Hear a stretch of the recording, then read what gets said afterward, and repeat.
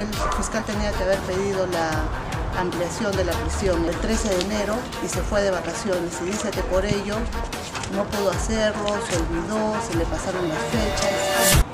Según él, él ya estaba todo hecho, estaba todo avanzado, pero a la hora de la hora nada.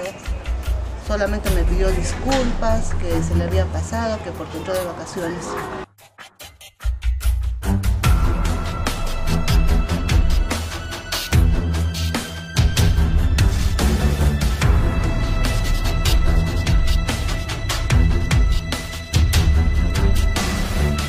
Esta situación extrema en que esta persona mata a la otra y hay impunidad y esta persona ha podido escaparse de, de la ley, te hace ver pues que de repente por tener mejores condiciones económicas, ha podido irse lejos y esa situación ni siquiera ha sido considerada eh, ¿no? por, por el Ministerio Público para actuar con la debida rapidez y la debida diligencia, a tal punto que este señor eh, ha podido escapar.